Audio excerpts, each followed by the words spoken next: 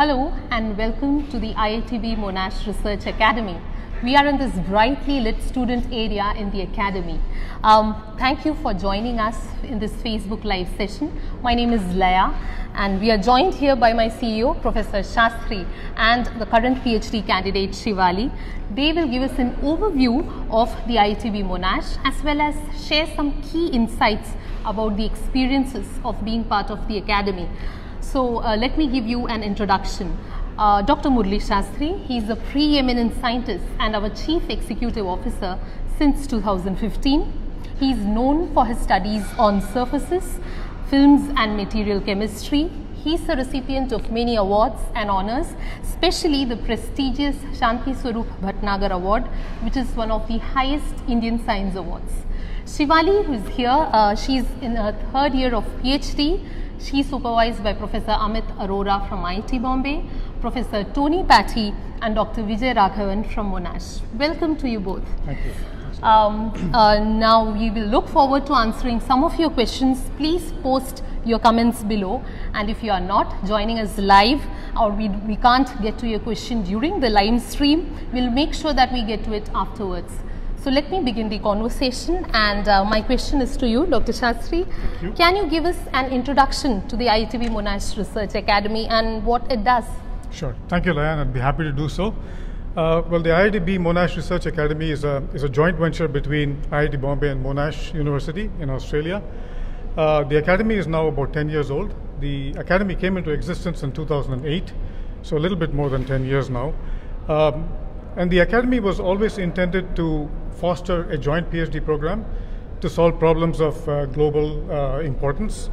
Um, so basically, we run a joint PhD program where our students, who are basically selected through a very rigorous process, uh, students selected into the academy are jointly supervised by supervisors from IIT Bombay and Monash University. Yes. Uh, we also pride ourselves on the fact that we have a very strong industry connect. Yes. Um, and often we have uh, on our PhD, PhD topics serious mentorship also from industry. So we're looking at problems that really need to be solved as opposed to the standard academic approach of problems that can be solved. Um, in terms of what we do, we are looking at uh, essentially developing a, a PhD program, a training uh, module uh, approach that is quite unique and in tune with the needs of the market today. Um, and that's, that's why we are really very keen on partnerships with, with industry, uh, bringing a, an international flavor to the Yes. PhD program by way of the partnership between IIT Bombay and Monash. University. So that's basically what the academy, Academy does. all about. Yeah. And so, would you be able to tell me about the partnership between Monash and IIT Bombay? Sure. Um, as I said, the agreement between IIT Bombay and Monash came in, was signed in 2008. The thinking was that there was a need for bringing a, an international collaboration together. Uh, Monash was very keen on establishing a presence in India, and um, the discussions that happened with a number of institutions in India finally led to this partnership with IIT Bombay. And if you look at the rankings or whatever metrics you want to use, uh, these are the two leading institutions in their in their own geography. So I think it was a great uh, partnership, uh, the match that actually happened. Yes. And uh, the thinking was that by bringing this kind of complementarity, complementarity in terms of skills, capabilities, uh, one has a better chance of, of, of solving glo- global problems Yes. using high quality PhD talent. So, yeah. Yes. And how important is this connection between India and Australia? Well, I think if you look at the way in which um, problems are being addressed today, it's not enough to just have a, a single perspective to it. The partnership between Australia and India, and I, again, I go back to the point that we're talking about two really leading, top notch institutions, uh, IIT Bombay and Monash. That's right. Uh, the ability to bring a global, international perspective to a PhD topic, I think, is, is the bedrock of this partnership between India and, and Australia. Yes. And as all of you know, uh, the partnership between India and Australia goes beyond education. Yeah. we have very strong links in sport, uh, Yes. very strong cultural links. And so I think all of this plays nicely into the relationship between India and you know, Australia and extending it towards education, research uh, in a very logical sort of way. Yes, that's right. So now uh, moving over to Shivali, how did you find about the IITB Monash Research Academy? So uh, basically, I found it on the internet. So I did not uh, at that time I did not know it from anybody. But Yes. then I was looking onto the website of IIT Bombay, and the most uh, the best thing that I could see was the IITB Monash program because at that time they were floating the EOI of the project, Yes. and I got interested into the project. Great. So, why did you decide to do a PhD and what is your area of research? So, well, uh, I was lucky enough to get very good mentors in my bachelor's and master's program. I could do a couple of uh, very good research projects by the Indian Academy of Sciences. So, they motivated me to join the PhD program in the future. Oh. And uh, I'm basically a chemist by degree, but currently I'm working in the areas of food chemistry and food technology. That's great. And uh, what was an important consideration while you were looking for an institute where you could do your PhD and why exactly did you choose IITB Monash? Yeah, so that that is a very interesting thing because I was looking into uh, I was looking into to do a PhD in a institute, the premier institute of India, and also I was looking into to get a international exposure. But then when I looked uh, into the website of the international institutes, it was a bit difficult for me to understand the admission procedure and other things. So when I looked into the profile of IITB Monash Research Academy, so my all the dreams got fulfilled because Okay. I got two uh, eminent institutions, Yes. and yeah, foreign exposure was also there. It was really good. Great, great. So, if you're joining us live, we are joined by our CEO, Professor Sastry, and the current PhD candidate, Shivali. Moving over to Dr. Sastry, um, how many PhDs have you had come through the academy? So we've just crossed the century mark. Uh, I'm really happy to say that we've uh, graduated 111 PhDs in the academy, and I a I great think next number, week we're going to graduate one more. Yes. So the numbers are increasing all the time. Uh, we've had about 320 odd students overall in the academy, and right now, so if you subtract the 111, we're now at about 180 students in the academy. And it's a, I think it's a very sizable number. Yes. We've recently celebrated our 10th anniversary. Yes. So I think the academy has come uh, a long way. Long way. Yeah. Yeah. So, how important is the mobility aspect of the IITB students traveling abroad, and what benefits or insights does it offer them?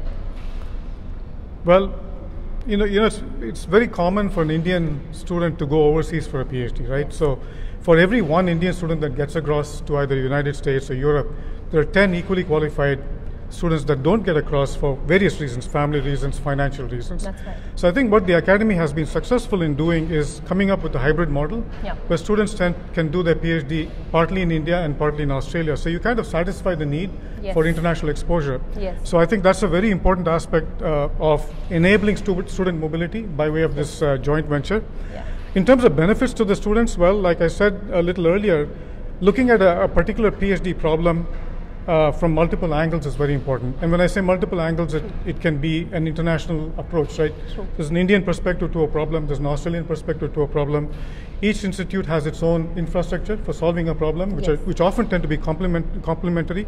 So I think that's another a significant benefit that our students enjoy when they get into the academy. So they look at a problem, part of it is done in India, and the complementary part that's done in Australia, which is which is hugely beneficial. Yes.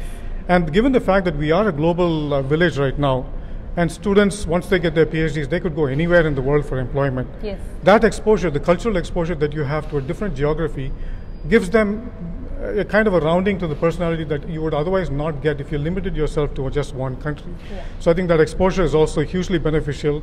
Um, interacting with students from multiple nationalities, um, looking at a PhD problem from a, completely different angle. I think all of these are significant benefits. Yes. But I really do think we hear, need to hear it from the horse's mouth, from a student Yes. who's actually That's right. been there and done it, and uh, and get her perspective on what this mobility Sure, means. sure. right? So over to you, Shivali. So let me ask you, what has been, how has your been journey in the ITB Monash Research Academy so far? So it has been very good so far. The I have completed three years recently, and the journey was really very smooth. Yes. Though I I also encountered episodes of PhD stress, which is I think is very common when you are pursuing a doctorate degree. Right. But uh, I got various opportunities to present my work in different conferences. Yes. So those things were really very good, and especially I would like to mention about the highly equipped uh, academy labs because those uh, equipments have given me a great potential to do a very high quality research. Yes.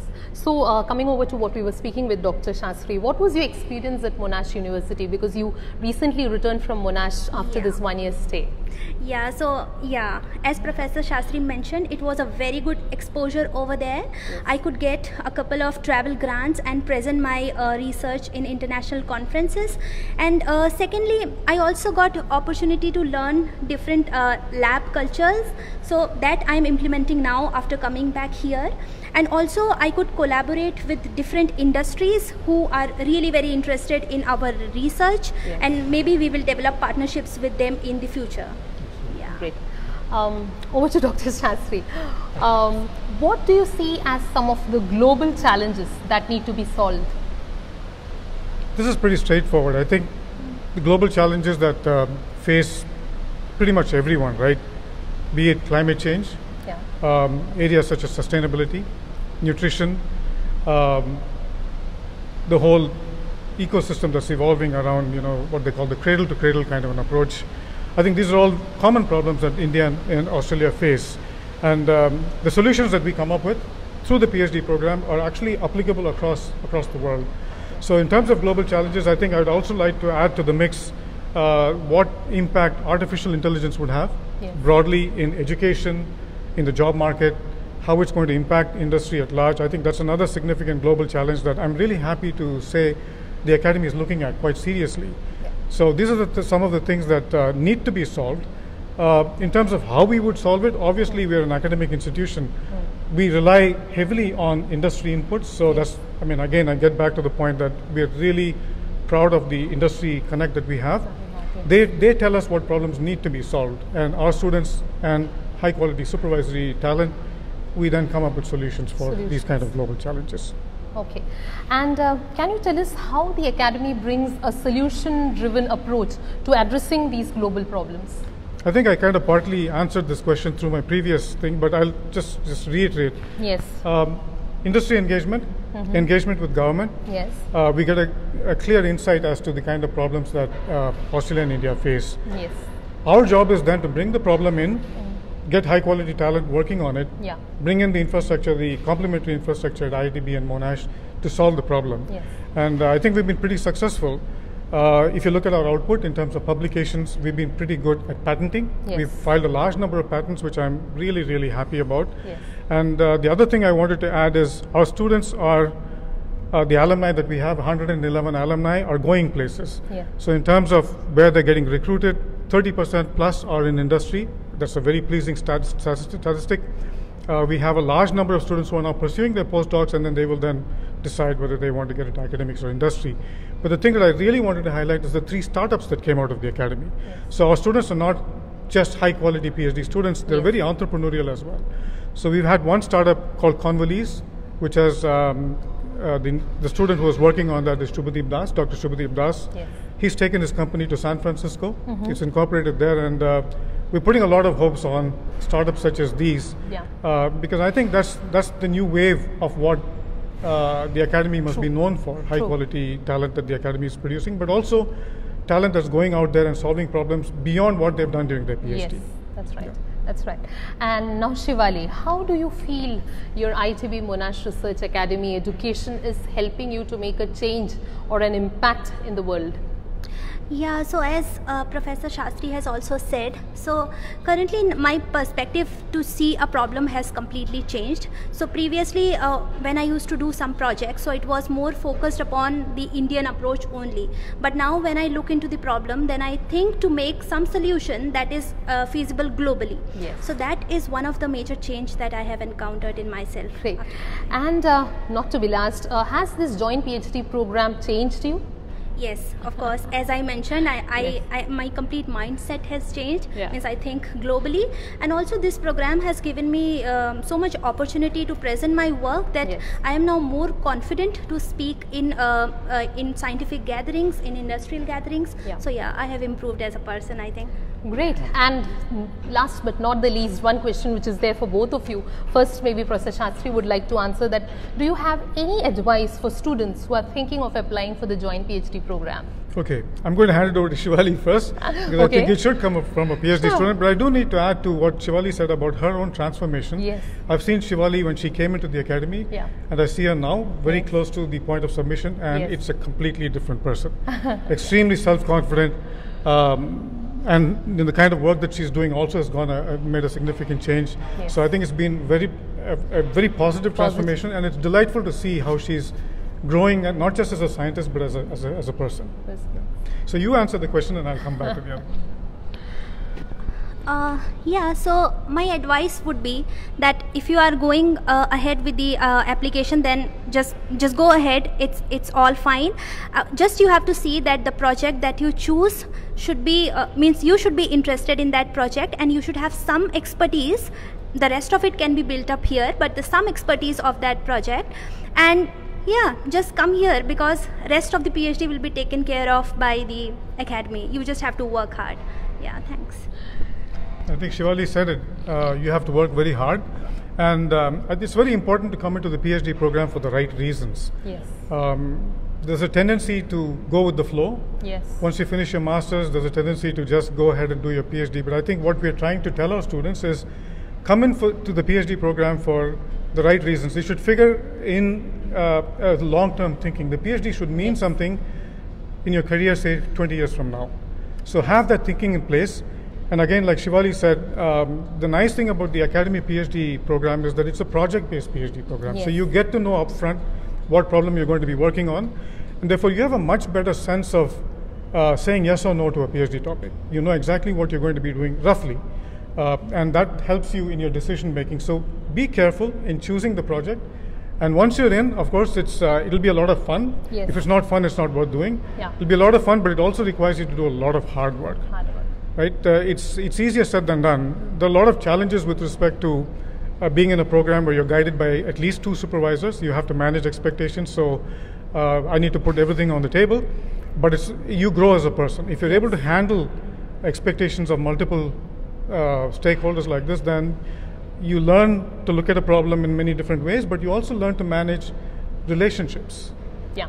So that's another very important aspect of the academy. And if you, I think students will benefit should they come in. So do consider the academy very seriously for your PhD program. Uh, if you look at the way the academy has performed, our students are going places. So uh, there's a track record that we can talk about. That's, so you can uh, certainly look at that and, and, and come into the academy. Um, the EOIs are open Yes. for the next intake, which is going to happen in December. So those of you who are interested, please put in your application ASAP. Right? And good luck with your, your application. Thank you so much. Thank you for joining in this conversation. Unfortunately, we are out of time, and I would like to thank our panelists again, Dr. Thank Sastry and Shivali, for sharing their insights and experiences about the Academy. For everyone who tuned in today, thank you for joining us, and we hope you enjoyed the session.